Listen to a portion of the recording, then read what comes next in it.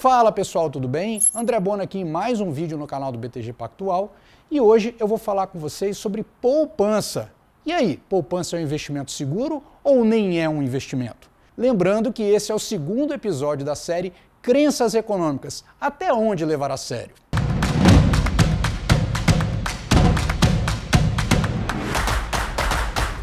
Então vamos falar aqui sobre poupança. Uma grande característica que é muito vantajosa da poupança é a simplicidade e a popularidade. Bom, ser popular não significa ser bom, mas se é popular, pelo menos as pessoas conhecem, né? Então, uma característica da caderneta de poupança que atrai muitos investidores iniciantes é justamente essa simplicidade e também sempre de ouvir falar, né? As pessoas falam, ah, eu vou guardar dinheiro na poupança e tudo, então acaba sendo uma alternativa popular e simples. E por que, que é simples? Porque basicamente é uma conta remunerada onde você deposita um valor e uma vez por mês esse valor recebe os juros né, previamente definido, existem as regras da poupança, que basicamente é meio por cento ao mês mais a TR, é, e quando a taxa Selic está abaixo de 7,5%, ela passa a render 70% da taxa Selic, e isso fica fácil de todo mundo entender, porque não tem aquele risco de eu fazer um, um depósito na poupança, resgatar um, um, valor inferior ao que, eu, ao que eu apliquei.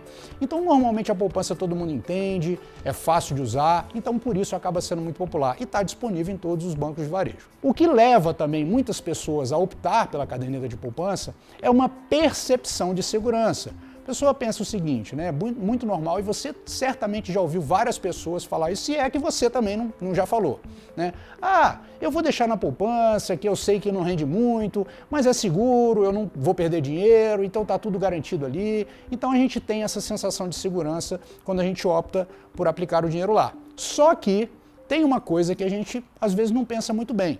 O que traz uma percepção de segurança, na verdade, é uma coisa chamada garantia do fundo garantidor de crédito. O que, que é isso?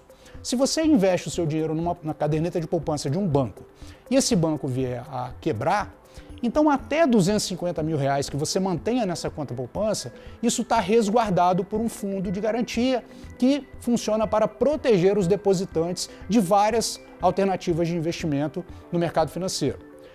Só que o que acontece é que essa proteção não está disponível apenas para a poupança. Existem outras modalidades de investimento que também contam com essa mesma proteção. Então basta que você aprenda um pouquinho mais para compreender que você tem alternativas que podem ser muito seguras, tão seguras quanto a poupança e que podem ter uma rentabilidade um pouquinho melhor. Muitas pessoas, inclusive, dizem assim: Mas André, eu já ouvi dizer que poupança nem é investimento. Que história é essa? Pessoal, aí tem uma questão. Não é que a poupança não seja um investimento, ela é um investimento sim. É um valor que você vai colocar e você vai ter uma rentabilidade por esse valor que você coloca nessa conta. Então ela é um investimento. Só que você ouve falar isso para enfatizar o problema da rentabilidade inferior que ela possui. Então isso não é necessariamente uma afirmação de um conceito.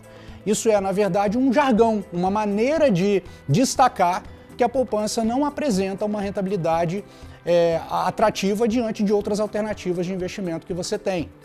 Uma outra coisa que preocupa muitas pessoas é o risco da inflação.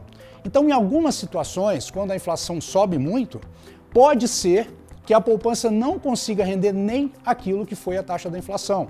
Então, quando acontece isso, você, na verdade, está perdendo o poder de compra do seu dinheiro. Digamos que você fez a sua aplicação na poupança e durante um ano ela rendeu 7% e a inflação, digamos, foi 8%. Então, na verdade, você não consegue, depois desse período de 12 meses, adquirir as mesmas coisas que você adquiria antes, porque a inflação foi superior à correção da poupança. E aí, realmente, é uma maneira que você acaba perdendo dinheiro, mesmo sentindo a segurança que você acha que teria.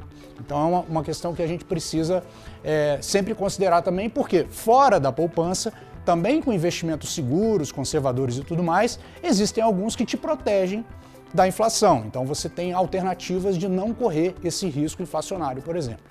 Agora, algumas pessoas uti utilizam a caderneta de poupança com uma outra finalidade, que é estacionar dinheiro.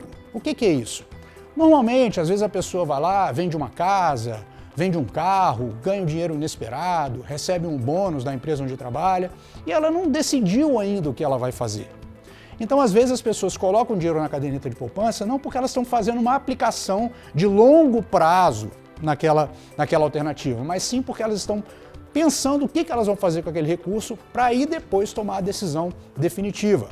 Então essa é uma maneira também que às vezes faz sentido, porque o dinheiro vai ficar pouco tempo, né? Então não vai fazer muita diferença. Na verdade, os juros, como a gente sabe, eles têm, ele tem um efeito cada vez mais positivo quanto maior o prazo.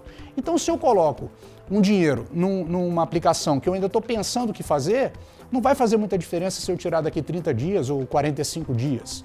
Então, para esses casos de dinheiro curto, estacionado, que você ainda não decidiu o que vai fazer, pode ser que seja uma alternativa, não tem problema nenhum você utilizar, tá?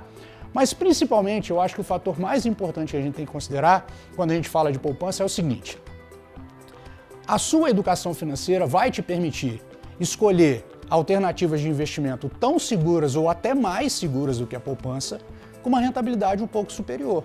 Então cabe a você se desenvolver e continuar aprendendo para poder melhorar a maneira de fazer o seu dinheiro render.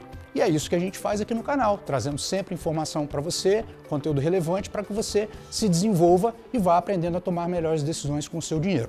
Beleza? Então, só para a gente fechar, a poupança é um investimento? É, mas ele não é um investimento com uma boa rentabilidade. Essa é a questão. E você se educando vai poder melhorar as suas decisões e obter mais retornos com segurança também muito boa. Beleza? Então isso que eu queria falar hoje. Um grande abraço e até o próximo vídeo.